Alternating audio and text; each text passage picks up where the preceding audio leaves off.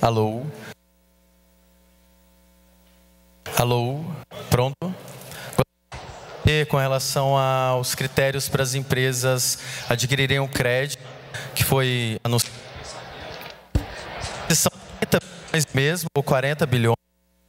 E o ministro Jadel havia dito com relação a uma repactuação de débitos, como que isso vai funcionar.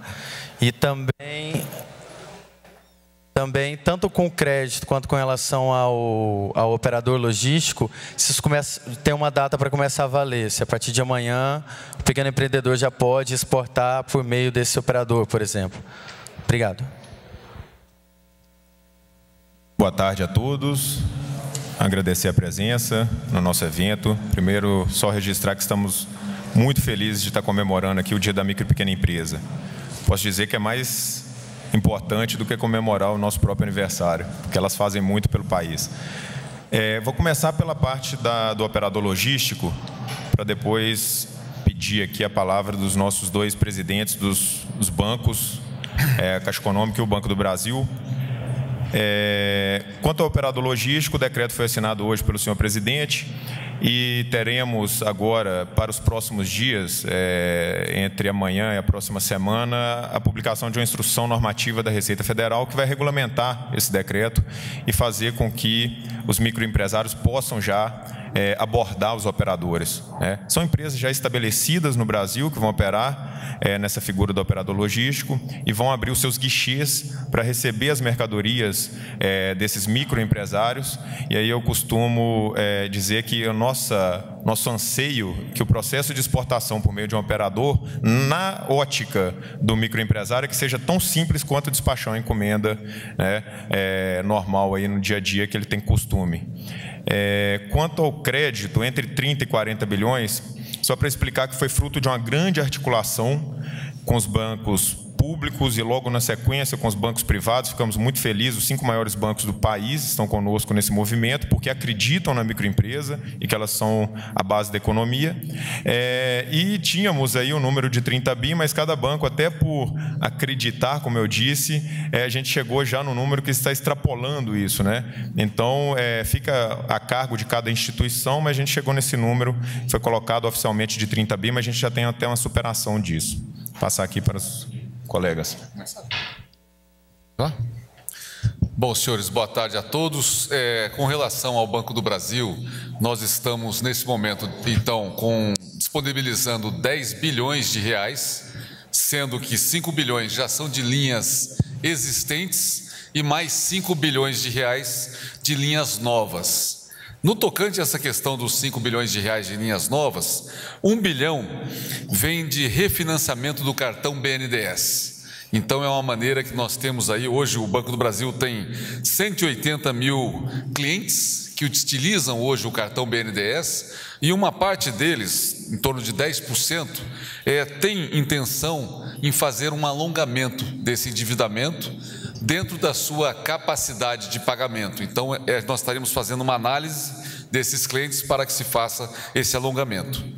Um bilhão vem de uma linha nossa chamada Renovação Pessoa Jurídica. É uma linha própria do Banco do Brasil.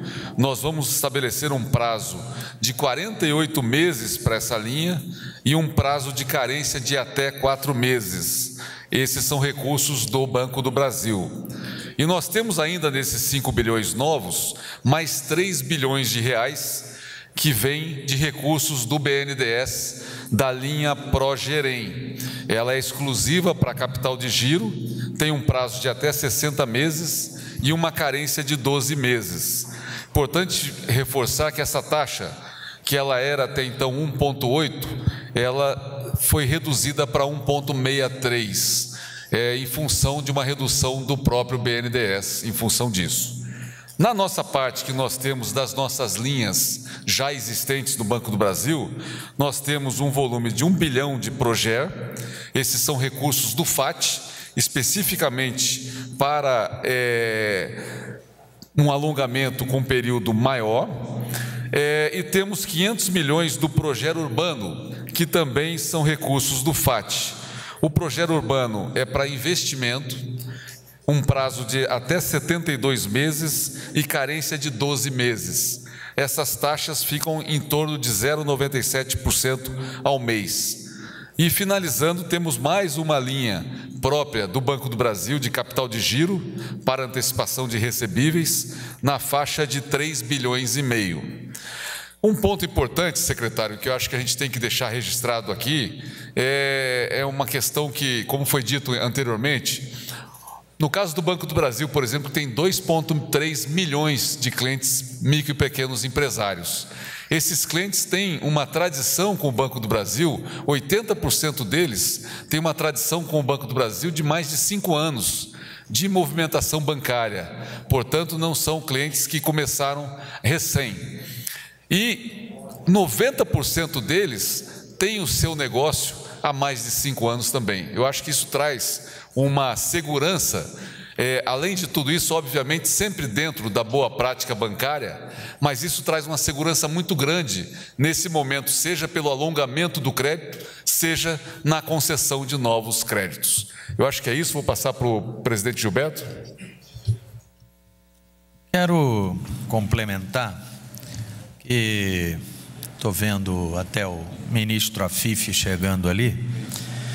É, e dizer que a Caixa Semelhança do Banco do Brasil disponibiliza também cerca de 10 bilhões de reais. E de uma maneira geral, podemos resumir que a taxa de juros ela começa em 1,49 é, a partir dessa taxa de juros. As operações podem ser em 60 meses, com até seis meses de carência.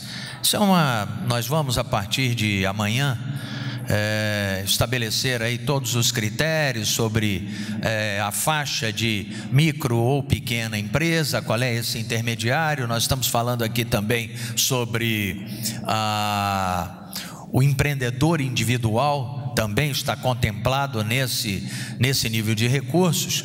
E uma outra coisa que quero relembrar aqui, por isso citei a presença do ministro Afif Domingos, que ele fez um apelo e fez uma sugestão de que houvesse um movimento também no sentido de nós fazermos uma renegociação de dívidas.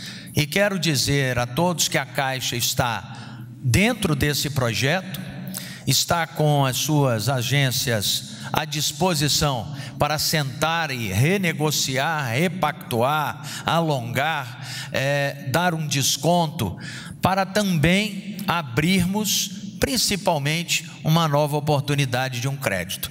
Então nós estamos com esse objetivo. Um outro ponto que eu acho que é importante que se aproxima é a necessidade de um capital de giro, principalmente para o pagamento do 13º salário para essas empresas. É, outro ponto é a necessidade de investimento para aquisição de produtos, porque nos aproximamos muito aqui agora do final do ano, Natal e Ano Novo, que há uma demanda maior, o comércio fica mais é, incentivado, há uma busca maior, não só dos é, pequenos e micro é, empresas e empreendedores, mas também da população de uma maneira geral. Então, na maioria das vezes, a população busca é, ter o seu nome ou o seu cadastro regularizado para que ele possa ir nessas empresas pequenas, micro, médias empresas para ir buscar os seus produtos e fazer o seu consumo. Então, a Caixa tem esse objetivo e acredito que esse é o mesmo espírito dos bancos públicos aqui presentes. Estava conversando isso com o presidente do Banco do Brasil e talvez façamos juntos uma, um movimento nacional que busque a regularização daqueles que têm o crédito ou em atraso, ou que esteja inadimplente ou com alguma dificuldade, para que a gente possa regularizar. Parte desse recurso servirá também para esse tipo de alongamento e, quem sabe, até um aumento do próprio capital para esses clientes. Carla Araújo, do Estadão. Pois eu falo. A complementação aqui do, do presidente Cafarelli. Aqui. Não, eu só acho importante no que o presidente Gilberto comentou, e a gente tem que reforçar aqui que, na verdade, quando você pega esse segmento de micro, micro e pequenas empresas, é um segmento que tem uma sensibilidade maior em momentos de adversidade. Então, é natural também que os bancos, sejam os bancos públicos e os bancos privados, façam uma análise da sua capacidade de pagamento e façam a devida adequação em função desse momento de adversidade. Fato é que essas empresas, como eu falei, elas têm longevidade, precisam enfrentar esse momento, que muitas vezes é o momento mais difícil para elas, e é importante que os bancos tenham a sensibilidade de fazer uma adequação da sua capacidade de pagamento. Obrigado. Carla É, oi, serve para o Cafarelli, PROC. Eu queria entender primeiro assim, todos os bancos vão ter os mesmos é, critérios ou cada banco vai definir o seu? Tem 10 bi do BB, 10 bi da Caixa, os outros 20 são dos bancos privados. É, e as taxas de juros é, são iguais ou não? Tem uma coisa de que elas são 30% menores do que os outros? É, eu não ficou muito claro isso. Obrigada. Assim, esclarecendo a questão então do crédito. É, os, os bancos eles têm total liberdade. Eles entraram conosco dentro do movimento por acreditarem nessa questão é, da retomada do crescimento e da confiança da microempresa. É, aqui a Caixa trouxe 10 bi, o Banco do Brasil 10 bi, e aí os, não necessariamente os bancos privados que estavam aqui só foram embora por conta de horário de voo, estava programado para eles participarem aqui também. É, tem o complemento aí para dar os 40. Isso vai até um pouco além. A gente está falando de mais três bancos. Né? As taxas, cada banco vai, fez um movimento nas suas taxas dentro do que ele já estava planejado ali, mas olhando ah, o potencial da microempresa, e eles vão comunicar isso, cada banco, cada qual, à imprensa, a partir de amanhã. Acho que a gente já vai ter aí quais, quais são esses, esses movimentos em cima da taxa. Tá? Então, é, o que foi acordado no grupo antes desse evento é de todos darem a mão para a gente poder trazer para a microempresa é, uma notícia de existência de crédito para esse último trimestre, como bem colocado aqui pelo presidente Ock, para necessidades de 13º salário, aquisição de estoque né, para, para vendas de Natal, é, e também é, o movimento primeiro movimento, depois de muito tempo, de redução das taxas. Isso significa confiança na retomada da economia. Não, não. O que o ministro Jadel comunicou ali é que, dentre o que nós recebemos de comunicado dos bancos, algumas linhas sinalizavam até 30% de redução. Mas cada banco trouxe o seu é, é, perfil de taxas ali. Obviamente, como o ministro colocou, a gente não abre porque é questão concorrencial, mas os bancos vão trazer isso à imprensa. Tá? Soane Guerreiro, TV Brasil.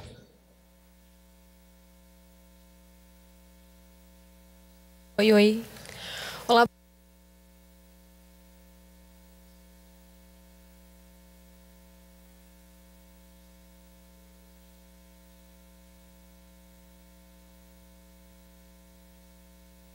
Boa noite. A primeira pergunta é para o secretário é sobre o número de inadimplentes.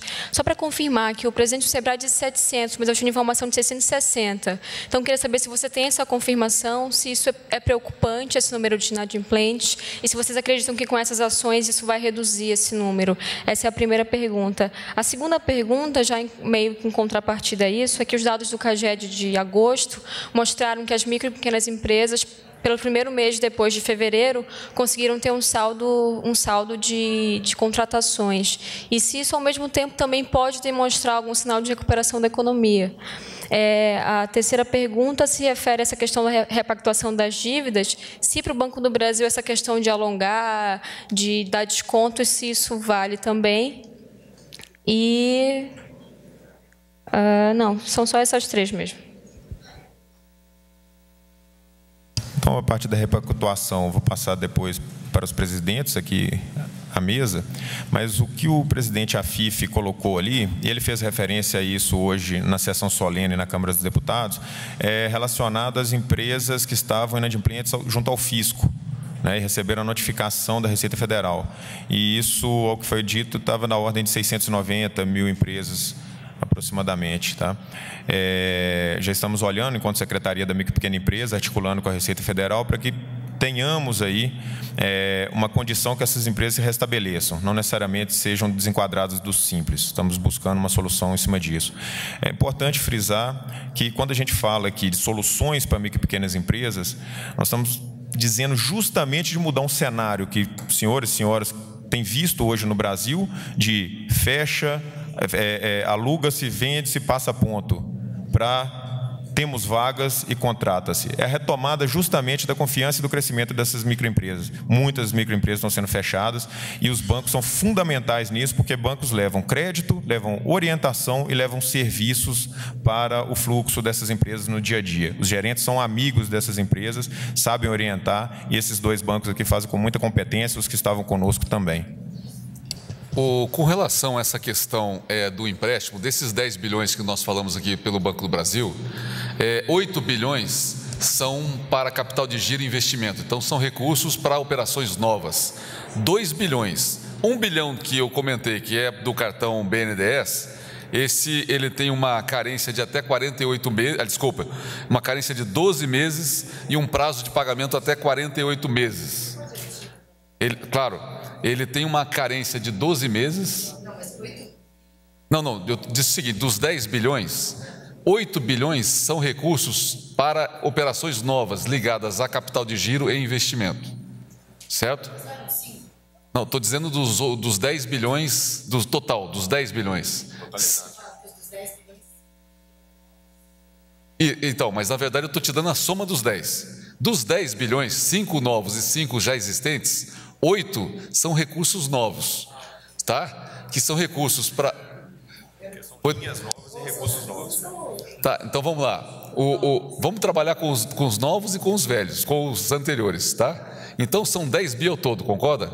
Dos 10 bilhões, é, 8 bilhões são recursos para operações novas, ou seja, vai ter o tomador terá um dinheiro novo. Os outros 2 bilhões que eu comentei, 1 bilhão referente à questão do cartão de crédito BNDES e 1 bilhão de renovação, de alongamento de dívida de, de empresas, serão direcionados a esses alongamentos. Então, com relação ao cartão, a gente está falando de uma coisa de 48 meses para pagamento, ou de até 48 meses, um alongamento, com 12 meses de carência, a uma taxa de 1,2% ao mês. Está claro? Com relação à renovação de dívida, é uma linha própria do Banco do Brasil. Nós estamos falando de uma carência de quatro meses, um prazo de pagamento até 48 meses. Neste caso aqui, a taxa se adequa a, ao perfil e ao risco do cliente. Então aqui tem uma variação, eu não tenho como te falar qual é a taxa final dessa operação. Ok? É isso mesmo, não? A última jornalista é Natália Vale, da TV CNT. Sou eu. Estou aqui. Secretário, é, minha pergunta é simples, na verdade. Eu queria só que o senhor comentasse, porque ontem a Câmara aprovou o projeto de lei que muda né, a, o faturamento. É, o que, que significa isso para o governo? Se é bom, se é ruim, é, em relação também à arrecadação, né, que passa a diminuir? Ok, aí eu acho que até tinha anunciado a última pergunta, de repente se tiver mais alguma ligada a linhas de crédito, a atendimento nas agências, aproveitar também a presença aqui, porque a gente vai encerrar. Né? É, aprovação do, do projeto do Super Simples. Ele é aquela questão, se é bom para a microempresa, é bom para, para o governo. Tá? Então, é, ontem foi feita essa aprovação, ela tem, é feita em cima de uma legislação que é viva, que é a legislação para micro e pequena empresa. A gente já faz uma consolidação de um movimento no Congresso, já pensando no próximo, acho que isso é muito natural. E nós vamos trabalhar, como é bom para a microempresa, a gente vai trabalhar por uma rápida regulamentação dos dispositivos que ali estão. Né? Então, alguns já começam para 2017, como a questão do investidor anjo, o ministro Afif citou a parte do parcelamento dos débitos fiscais, que vai dar um alívio para as empresas nesse momento, também mais um auxílio para que elas retomem o seu desenvolvimento, é, e outros dispositivos ali de enquadramento, como do microcervejarias, né, microvinícolas, que passam já para as tabelas novas. A gente vai trabalhar para que haja essa regulamentação e já pensar na próxima alteração, porque a sociedade tem clamado por isso. Nós, dentro da Secretaria, com articulação com os parceiros, os bancos e com demais né, universidades, como estavam ali hoje, a gente já tem indicativo de várias, vários pontos que poderiam melhorar a legislação brasileira para microempresários, para o ambiente de negócio dessas pequenas empresas.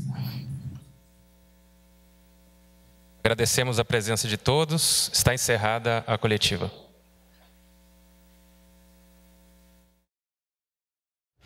Nós acompanhamos ao vivo a entrevista coletiva no Palácio do Planalto sobre o lançamento de medidas de apoio às micro e pequenas empresas. As propostas apresentadas possibilitam a melhoria do ambiente de negócios em três eixos: acesso ao crédito, capacitação técnica e desburocratização. Segundo o secretário da Micro e Pequena Empresa, José Ricardo Veiga, e os presidentes dos bancos, dos bancos do Brasil, Paulo Cafarelli, e da Caixa Econômica Federal, Gilberto Ock, faz parte dos planos do governo oferecer 40 bilhões de reais em crédito para investimentos, aquisição de estoques e capital de giro. Esse dinheiro será oferecido por bancos públicos e privados. Continue com a gente aqui na NBR, a TV do Governo Federal.